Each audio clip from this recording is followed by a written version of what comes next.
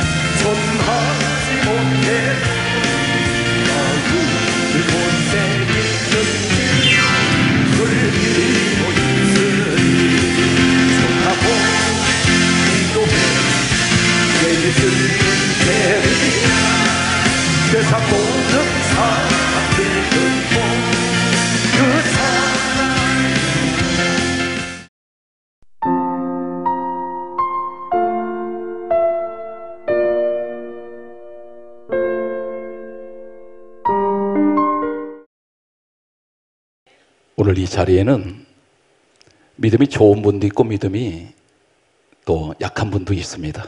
강한 믿음 가진 분이 있고 약한 믿음 가진 분이 있는데 우리가 인생을 살면서 성공할 수 있는 그런 사람은 어떤 사람입니까? 무슨 일을 하든지 나는 성공의 확신을 가진 사람은 반드시 목표가 분명한 사람은 그 인생 성공할 수가 있습니다.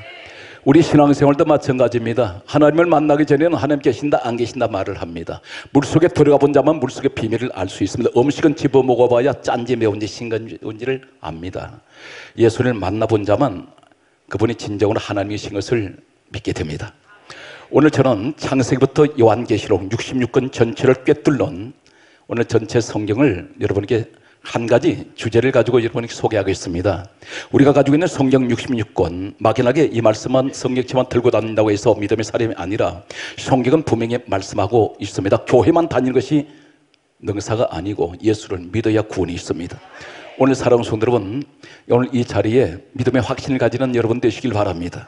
저는 오늘 여러분들에게 말씀을 여러분에게 소개하겠습니다. 제 이야기를 하는 것이 아니고 제 감정 전달하는 것이 아니라 성경 66권 이 말씀은 약 1600년 동안 66권이 기록이 되었습니다. 이 성경 66권을 기록한 사람은 전체가 33명에서 34명으로 알려지고 있습니다. 또 이 성경은 동시대 인물들이 기록한 책이 거의 아닙니다. 창세기, 출애굽기, 레위기, 민수기, 신명기는 모세가 기록을 했습니다. 모세는 다윗이라는 사람을 만나본 적이 없습니다. 다윗은 시편을 기록을 했습니다. 한 예를 들고 있습니다. 그렇다면 하나님께서는 영원에서 영원까지 계시기 때문에 각 시대의 사람들이 태어났을 때 성경을 성령의 감동으로 기록하게 하신 하나님은 이 사람이 한 시대에 성경을 기록하고 떠났으면 다음 시대에 태어난 사람이 또 성경을 기록합니다. 이것을 약 1600년 동안 이 기록한 문서를 모아놓은 것이 우리가 가지고 있는 성경 66권입니다. 이 말씀은 분명히 기록하고 있습니다. 요한계시록 22장 마지막 장에 이 예언의 말씀을 더하거나 제하면 하나님께서 재앙을 내리신다고 말씀합니다. 그래서 잠언 30장 6절은 말씀은 하나님이신데 너는 말씀 외에 다른 것을 더하지 말라. 다른 것을 더하게 되면 너는 거짓말하는 자가 되고 내가 너를 책망할까 하노라. 이렇게 말씀하고 있습니다. 그러므로 요한복음 1장 1절에 말씀은 하나님이십니다. 오늘 말씀이 있는 하나님 여러분 만나시기 바랍니다. 오늘 시간 하나님을 어떻게 만나십니까? 성경에 기록된 하나님 말씀을 들을 때 오늘 하나님이 여, 여러분 가운데 임하십니다. 왜 그렇습니까? 이 시대는 성령 시대인데 꼭 강조하고 넘어가겠습니다. 사도행전 10장 44절 말씀을 보게 되면 반드시 말씀 듣는 사람에게 성령은 임하십니다. 오늘 이 현장이 바로 그 현장인 것을 저는 믿습니다. 오늘 여러분 말씀 듣고 계시다가 말씀에 잡히시면 반드시 성령이 여러분께 찾아오십니다. 오늘 성경 말씀을 이렇게 소개하고 있습니다. 창세기 2장 17절 말씀을 보게 되면 하나님께서 에덴 동산을 세우시고 그곳에 인류의 첫 번째 사람 아담과 하와를 세우십니다. 그리고 그곳에 하나님께서 하신 말씀이 선악을 알게 하는 나무의 열매를 먹지 말라. 먹는 날에는 정령 죽으리라고 말씀하셨습니다. 선악과 건드리지 말라는 말씀입니다. 선악과 먹으면 죽는다고 말씀했습니다. 그런데 이 두 사람은 창세기 3장 1절에 나타나는 뱀의 유혹을 이기지 못해서 그들은 선악과를 먹게 됩니다. 이 뱀을 가리켜 계시록 12장 9절은 옛뱀 곧 마귀라고도 하고 사단이라고 하는 온 천하를 꿰는 자라고 했습니다. 에덴 동산에 나타났던 뱀은 바로 사단 마귀였다고 성경은 이 정체를 밝히고 있습니다. 이 사람들이 선악과를 먹었습니다. 먹고 났을 때 창세기 3장 17절 말씀을 보게 되면 하나님께서는 그들로 인해서 그들의 죄로 말미암아 하시는 말씀이 땅은 너로 인하여 저주를 받는다고 말씀하셨습니다. 다시 말해서 선악과를 먹음으로 그들은 죄인이 되었고 선악과를 먹음으로 그들에겐 저주가 찾아왔습니다. 그런데 하나님이 이들을 죽이지 않습니다. 이들을 저주하지 않습니다. 성경은 이렇게 강조하고 있습니다. 이유가 어떤 이유냐면 창세기 3장 성경 말씀 보게 되면 21절에 하나님이 가죽옷을 지어 입히시게 됩니다. 그리고 살려주십니다. 가죽옷은 어떤 것일까요? 그런데 이상한 것은 하나님께서 이 사람들의 죄를 지었고 저주받은 인생들에게 하나님의 친히 성경은 창세기 3장 21절에 말씀하시기를 하나님이 가죽을 가지고 옷을 지어 친히 입히셨다고 말씀하고 있습니다. 아담 하와가 만든 옷이 아닙니다. 하나님이 만들어준 옷입니다. 이 옷은 죄를 가려주는 옷입니다. 그런데 이 옷을 입었던 그들을 하나님 죽이지 않습니다. 그런데 이 가죽은 어디서 나왔습니까? 아담 하와의 죄를 가려주기 위해서 대신 죽은 희생 제물의 옷입니다. 왜 죽었습니까? 아담 하와의 죄 때문에 죽었습니다. 그런데 성경은 이상한 것은 창세기 3장 1절에 뱀이 등장을 하면서 창세기 3장 21절에 하나님이 가죽옷을 지어 입히실 때까지는 사람이라는 단어가 나오지 않습니다. 사람이란 말이 어떤 뜻인가요? 원어에는 안트로포스란 말을 씁니다. 위를 바라보는 자. 위에 누가 계십니까? 골로새서 3장 1절 말씀을 보게 되면 하나님이 계십니다. 사람이란 말은 아, 저 사람 이렇게 말하는 것은 안트로포스. 이 사람은 하나님을 바라보는 자가 사람이라고 부를 수가 있습니다. 그런데 죄가 들어오는 순간 이 사람은 마귀와 짝을 하는 순간 이 사람은 사람이라는 소리가 사라져 버립니다. 그런데 또 놀라운 사실은 가죽옷을 하나님이 입히시는 순간 바로 22절에 사람이라고 부르십니다. 바로 이 사건은 무슨 사건일까요? 누가 죽어야 됩니까? 아담 하와가 죽어야 될 자리에 희생 제물이 있습니다. 그 희생 제물이 죽었습니다. 아담 하와 죄 때문에 죽었습니다. 아담 하와의 죄를 가르치기 위해서 죽었습니다. 이 옷은 가죽 옷은 무엇이 묻어 있습니까? 피가 범벅이 되어 있습니다. 피옷입니다. 전 성경은 무엇을 얘기하나요? 예수님이 이 땅에 오신 후에 주님이 이 땅에 오셨을 때는 구약 성경밖에 없었습니다. 39권. 그런데 주님이 이 땅에서 떠나시고 난 후에 신약 성경 27권은 기록이 되었습니다. 그런데 주님이 이 땅에 오셔서 하신 말씀이 요한복음 5장 39절에 말씀하고 있습니다. 너희가 성경에서 영생을 얻는 것을 알고 상고하거니와 이 성경은 곧 내게 대하여 정언한 것이다. 예수님에 관한 이야기라는 것입니다. 이것이 바로 복음입니다. 복된 소식입니다. 성경은 예수님이 다음 같은 말씀을 또 하고 있습니다. 요한복음 5장 46절에 말씀하시기를 창세기는 모세가 기록을 했는데 모세는 내게 대하여 기록하였습니다. 예수님에 관하여 기록했다는 것입니다. 성경은 좀 더 구체적으로 이렇게 해석하고 있는 내용을 말씀하고 있습니다. 예수님께서 말씀하시기를 누가복음 24장 27절 말씀을 보게 되면 다음 같은 말씀을 하고 있습니다.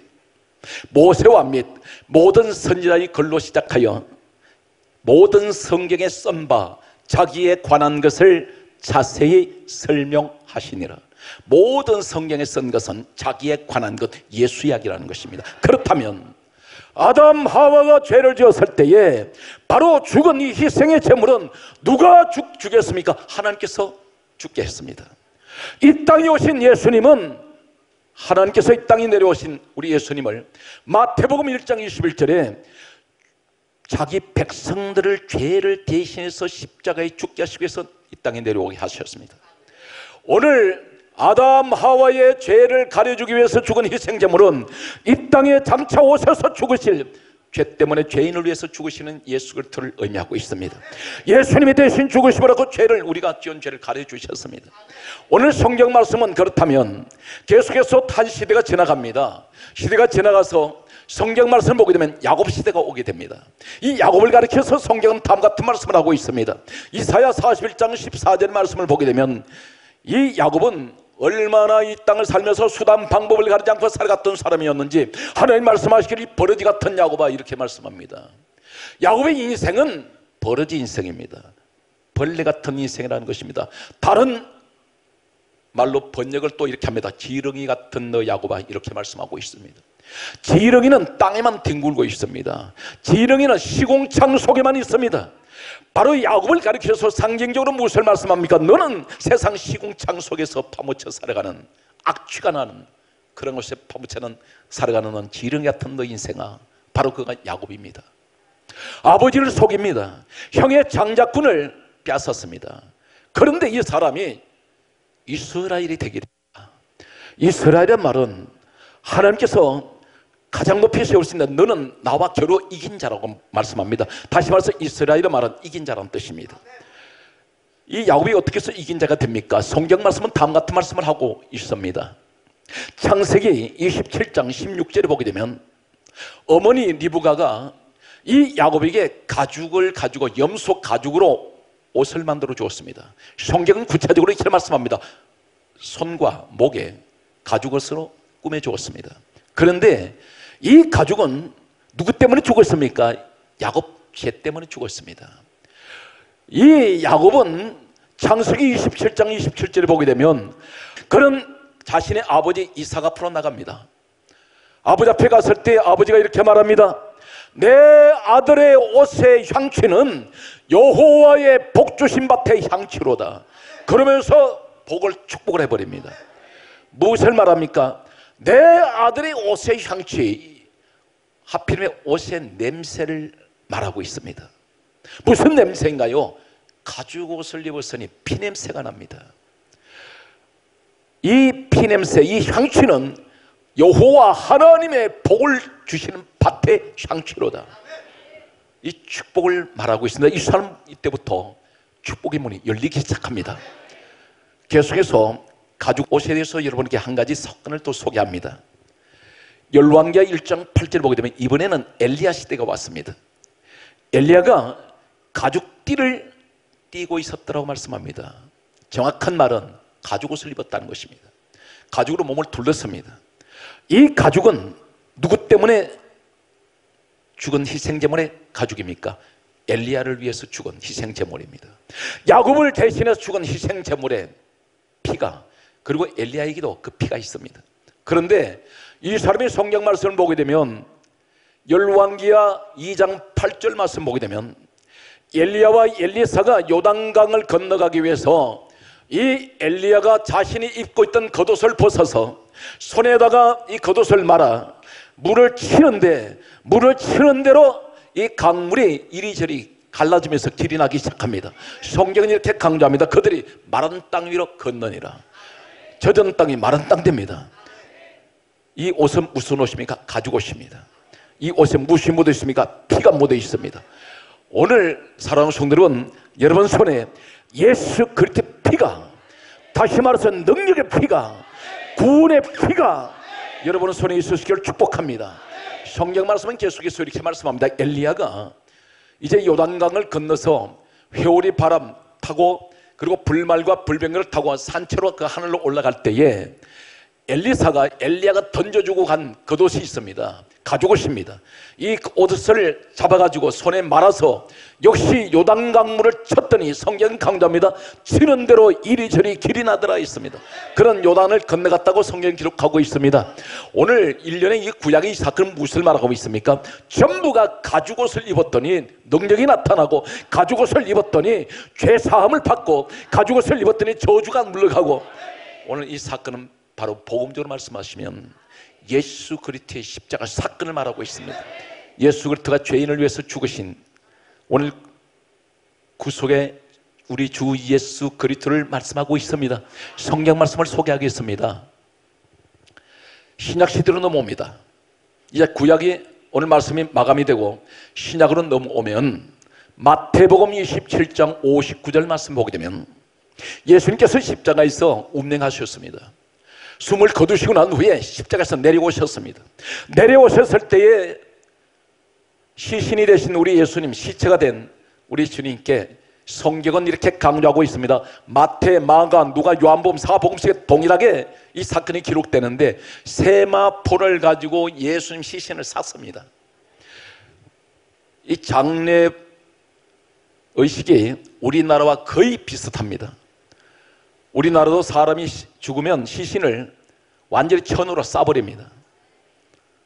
예수님 시신을 세마포 하얀 천으로 머리부터 발끝까지 전부 쌌습니다. 자, 그런데 성경은 또 이렇게 강조하고 있습니다. 마가복음 15장 46절 말씀 보게 되면 역시 마가복음에도 또 동일한 말씀을 하고 있습니다.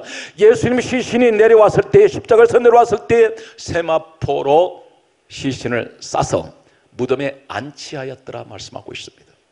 그런데 누가복음의 말씀을 보면 누가복음 24장 12절 말씀을 보게 되면 좀 더 내용이 다릅니다. 베드로가 예수님께서 부활하셨다는 소식을 듣고 달려갔더니 무덤을 들여다보았더니 부활하신 주님은 안 계시고 따르십시오. 세마포만 보이는지라 세마포만 보였습니다. 성경은 요한복음을 소개하겠습니다. 요한복음 20장 6절 말씀을 보게 되면 역시 성경이 이렇게 강조하고 있습니다. 부활하신 예수님은 보이지 않고 세마포만 놓여 있더라 이렇게 말씀하고 있습니다. 대단히 중요한 말씀입니다. 구약 성경에 나타나는 가죽옷, 그 피옷을 한마디로 요약하는 내용이 오늘 세마포 속에 있습니다. 예수님께서 죽으시고 난 후에 입으신 옷이 세마포입니다. 이 옷을 입으시고 그분은 부활하셨습니다. 동시에 이 옷은 어떤 옷입니까? 죽으셨을 때 시체가 되셨을 때 입었던 옷 마지막으로 그리고 부활하실 때 이 옷 입고 부활하셨습니다. 이 옷은 어떤 옷인가요? 예수님께서는 머리에 가시체를 쓰셨습니다. 피가 솟구쳐 흘러내립니다. 주먹으로 얼굴을 때려서 입에 피가 범벅입니다. 덩어리에 채찍으로 사정없이 때려서 덩어리는 갈기갈기 찢어져 버렸습니다. 주님의 손은 못에 박혀서 피투성입니다. 피가 말라붙었습니다. 주님의 발에 피가 범벅이 되어 있습니다. 옆구리를 창으로 찔러서 주님의 온몸은 한 곳도 성한 곳이 없이 전부 피로 물들어졌습니다. 주님의 이 시신을 온몸이 머리부터 발끝까지 피투성이가 되신 우리 주님을 세마포로 쌌습니다. 이 옷은 무슨 옷입니까? 피옷입니다. 예수님 피가 범벅이 된 옷입니다. 부활하신 주님은 보이지 않습니다. 오늘 이 자리에 나는 부활하신 주님을 만나러 왔습니다. 근데 내게 보여주시는 것은 세마포만 보여줍니다. 무슨 옷입니까? 피옷을 보여줍니다. 우리 예수님이 마지막 죽으실 때 입었던 옷. 그 옷은 곧 부활의 옷이기도 합니다. 왜 그 옷만 보여주실까요? 성경 말씀은 계속해서 이렇게 말씀하고 있습니다. 계시록 19장 7절 말씀을 보면은 계시록 19장 7절에 이렇게 말씀합니다. 천국에 가 있는 사람들 모습을 보았더니 어린 양의 신부가 되는 아내가 되는 사람들이 입는 옷이 있습니다. 성경은 이렇게 강조하고 있습니다. 요한계시록 19장 8절 말씀 보게 되면 하나님께서 어린 양의 신부가 되는 아내 되는 사람들에게는 세마포 옷을 입히라고 말씀합니다. 그런데 놀라운 한 말씀은 이 옷은 성도들의 옳은 행실이로다 이렇게 말씀합니다. 세마포 옷이 무슨 성도들의 옳은 행실입니까? 무엇을 가리키고 있을까요? 그런데 성경 말씀을 계속해서 보게 되면 요한계시록 19장 성경 14절 말씀을 보게 되면 하늘나라의 군대들이 예수님을 따르는데 전부가 세마포 옷을 입고 따라가고 있다고 있습니다. 다시 말해서 천국에 가는 사람은 무슨 옷을 입어야 됩니까? 세마포 입어야 됩니다. 어린 양 되시는 예수 그리스도의 신부가 되는 사람은 무슨 옷 입어야 됩니까? 세마포 입어야 됩니다. 그 옷은 무슨 옷입니까? 우리 주님이 마지막 입으셨던 피옷입니다. 오늘 내가 이 옷을 입어야 됩니다. 오늘 그렇다면 오늘 왜 이 옷을 입어야 됩니까? 오늘 이 옷은 누가 입습니까? 대단히 중요한 말씀의 진리가 있습니다. 우리 주님이 이 땅에 오셨던 목적 한 가지는 죄인된 나를 위해서 나를 구원하시기 위해서 그분은 십자가에 죽으셨고 그리고 그분은 부활하셨습니다. 그렇다면 우리 주님이 살아계실 때 이 세마포 입지 않았습니다. 십자가에서 숨을 거두시고 난 후에 사늘하게 식은 시체가 되었을 때에 입었던 옷입니다. 이 옷은 누가 입습니까? 육체가 죽은 자가 입는 옷입니다. 오늘 내가 예수님 앞에 나왔다면 이것이 성도의 옳은 행실이라고 했습니다. 나는 주님 앞에 나왔으면 내가 죽어야 됩니다. 무엇이 죽어야 됩니까? 내 육이 죽어야 됩니다. 성경은 이 사실에 관해서 이렇게 말씀하고 있습니다. 로마서 13장 14절에 말씀하시기를 너희는 그리스도로 옷 입고 정욕을 위하여 육체의 일을 도모하지 말라. 그리스도 옷이 무슨 옷입니까? 이 세마포 옷입니다. 내가 진정으로 예수 그리스도의 피옷 오늘 주님께서 입었던 내가 세마포 옷을 입었다면 주여 나는 육이 죽은 자입니다. 정욕을 위하여 육체의 일을 도모하지 않습니다. 세상 육체의 일을 쫓아가는 사람들 분명히 이 사람들은 교회 안에 들어와 있지만 그는 오늘 세마포 옷을 입지 못했습니다. 강조하고 넘어갑니다. 예수님께서는 이 세마포 옷을 입었을 때 죽으셨을 때 입었습니다. 그렇다면 주여 내가 육에 죽어지기 원합니다. 내가 죽어지면 내게도 이 세마포 옷을 나는 입은 줄로 믿습니다. 그러면 이 옷을 입으면 마냥 죽기만 합니까? 아닙니다. 이 옷을 입은 사람이 부활의 자리에 섭니다. 강조했습니다. 우리 주님은 이 세마포 옷을 입으셨을 때 죽으셨고 이 옷을 입고 계실 때 부활하셨습니다. 그리고 그것을 벗어두셨습니다. 이 옷은 무슨 옷인가요? 왜 주님이 십자가에서 죽으시고 피 흘리셨습니까? 이유가 한 가지입니다. 이 땅에 오신 예수님은 죄인을 사랑하셨습니다. 이 땅에 오신 예수님은 왜 죽으셨습니까? 죄인들의 죄를 용서하기 위하여. 그렇다면 이 옷은 무슨 옷입니까? 한마디로 말하면 용서와 사랑의 옷입니다. 그런데 우리는 용서와 사랑하지 않습니다. 간절하게 소망합니다. 주여 진정 이 민족이 주여 한국 교회가 우리 예수님께서 이 땅에 입으셨던 이 세마포 옷을 입은 같이 우리가 하나님 용서와 사랑 있는 민족 되게 하여 주시옵시고 한국 교회가 되게 하여 주셨기를 간절하게 소망합니다. 내 작은 가정이 용서와 사랑이 있습니까?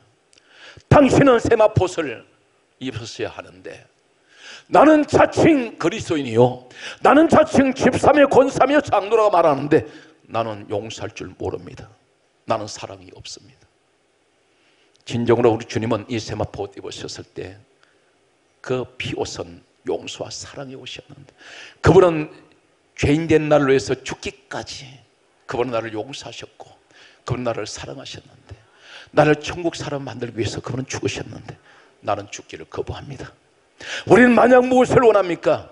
오늘 부활의 주님을 찾아갔던 무덤을 들여다보았던 그들은 무엇을 보기를 원했습니까? 부활하신 주님만 보기 원했습니다. 그런데 주님은 부활하신 주님 보이지 않습니다. 대신 무엇이 보입니까? 세마포만 보입니다. 너는 이 옷을 입었느냐? 우리 예수님의 이 세마포 피옷, 이 옷 입으면 어떤 축복이 있나요? 일곱 가지를 소개합니다. 예수의 피는 위대합니다. 예수님 피는 놀라운 축복이 있습니다. 예수님 피는 천국의 축복을 받습니다. 첫 번째는 요한복음 6장 54절에 말씀하고 있습니다. 예수님 피는 영생의 복을 가져옵니다. 내게 이 세마포 옷을 나도 입게 하시면 주여 나도 영생의 복을 하나님께서 내게 주실 것입니다. 두 번째는 로마서 5장 9절을 말씀합니다. 예수 그리스도 피는 우리를 의롭다라고 말씀합니다. 죄인이라고 부르지 않습니다. 예수 그리스도 피로 말미암아 우리를 의로운 자로 만들었습니다. 에베소서 1장 7절은 다음과 같은 말씀을 하고 있습니다. 예수 그리스도 피로 우리는 죄 사함을 받았습니다. 우리 사실 믿습니까? 오늘 전 성경은 한마디로 무엇을 가리키고 있습니까? 예수 그리스도를 말씀합니다. 성경 66권을 쥐어 짜십시오. 예수 피밖에 없습니다. 성경 66권을 쥐어 짜세요. 십자가밖에 없습니다. 성경 66권을 쥐어 짜세요. 하나님 사랑밖에 없습니다. 기독교는 사랑의 종교입니다. 동시에 용서의 종교입니다. 오늘 이 자리에 내 마음 속에 아직도 엉어리가 있습니까? 원한을 가지고 있습니까? 용서할 수 없다는 사람 주님께서 나 때문에 나를 위해서 죽으시고 용서와 사랑으로 나를 구원하셨는데 그 사람 용서하시기 바랍니다. 네 번째는 예수 그리스도 피는 어떤 축복을 말씀하고 있습니까? 에베소서 2장 13절을 말씀합니다. 예수 그리스도 피는 하나님과 원수된 우리가 가까워졌습니다. 하나님 앞에 감히 나갈 수가 없습니다. 그런데 우리는 이제는 하나님을 향하여 아버지라고 부르고 있습니다. 이 축복은 누구 때문인가요? 예수 그리스도께서 십자가에 죽으심으로 우리에게 이 놀라운 축복을 가져 주셨습니다. 다섯 번째는 무엇을 의미하고 있습니까? 골로새서 1장 20절을 말씀하고 있습니다. 크게 따라하십시오. 예수 그리스도 피로 다시 하세요. 예수 그리스도 피로 십자가 피로 우리를 화평케 해주셨습니다. 이제는 하나님과 우리 관계가 원소 관계가 아니라 하나님과 내 관계는 화평의 관계입니다.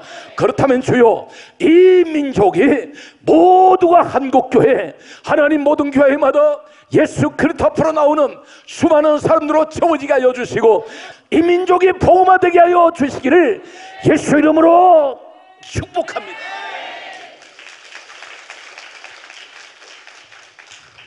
반드시 기억하십시오. 세마포를 입은 자만 천국에 있습니다. 이 피옷을 입어야 됩니다. 히브리서 9장 12절은 다음 같은 말씀을 하고 있습니다. 예수의 피는 우리를 영원히 속죄했습니다. 영원히 우리 죄는 다 사해져 버렸습니다. 오늘 이 축복의 주인공이 바로 여러분들입니다. 성경 말씀은 일곱 번째가 다음 같은 말씀을 하고 있습니다. 요한계시록 1장 5절은 말씀합니다. 예수 그 피로 우리를 죄에서 해방시켰습니다. 이제는 다시는 우리는 죄의 종이 아닙니다. 오늘 사랑하는 성도 여러분, 오늘 말씀의 가장 중요한 핵심이 무엇입니까? 옷에 있습니다. 아담 하와가 가죽 옷 입었습니다. 그리고 야곱이 가죽 옷 입었습니다. 엘리야도 엘리사도 가죽 옷 입었습니다. 성경에 보면 세례 요한도 약대 털옷을 입었습니다. 바로 이 옷은 전부가 피로 물든 옷입니다.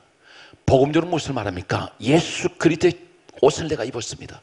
예수가 십자가에 흘리신 그 피, 그 피는 구원의 피요, 생명의 피면 축복의 피입니다. 오늘 사랑하는 성도 여러분, 교회에 나오시는 목적이 무엇입니까? 사람 보러 나오십니까? 건물 보러 나오십니까? 시설 보러 나오십니까? 아닙니다. 우린 주님을 보아야 됩니다. 오늘 이 자리에 나오신 여러분들에게 축복의 주인공이 바로 이 자리에 와 계신 것을 저는 확신합니다.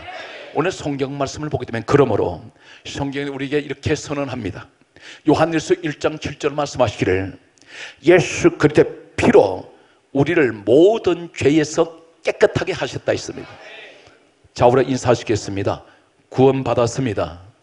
죄삼 받았습니다. 거기 하세요. 예수 그리스도로 말미암아 우리는 구원 받았습니다. 할렐루야. 오늘 주님에 계신 곳에 반드시 축복이 있습니다. 오늘 성경 말씀은 이렇게 강조하고 있습니다. 그러므로 요한계시록 5장 9절은 다음과 같은 말씀을 하고 있습니다. 어린 양의 핏값으로 우리를 사서 이제는 하나님께 드려졌습니다. 이제는 내 것이 내 것이 아니고 이제는 하나님의 것이에요. 누가 그렇게 하셨습니까? 하- 예수님이 당신의 핏값으로 우리를 사서 하나님께 드려졌습니다. 그러면 여러분들은 하나님의 자녀이며 천국의 자녀인 것을 믿습니까? 오늘 그러므로 오늘 성경 본문 말씀은 이렇게 말씀하고 있습니다. 갈라디아 6장 14절에 내게는 오직 주 예수 그리스도 십자가 외에는 결코 자랑할 것이 없습니다. 하나님 이 민족이 주님을 바라보게 하여 주세요. 한국 교회가 오직 이 땅에서 세상 소리 하지 아니하고 오직 철학 이야기 하지 아니하며 세상 자랑하지 아니하고 오직 예수만 자랑하며 십자가만 자랑하며 오직 주님을 위해서 일하는 우리 한국 교회가 되게 하여 주셔서 세계에서 가장 복된 나라, 가장 하나님이 축복하시는 이 민족이 되게 하여 주시기를 예수 이름으로 축복합니다.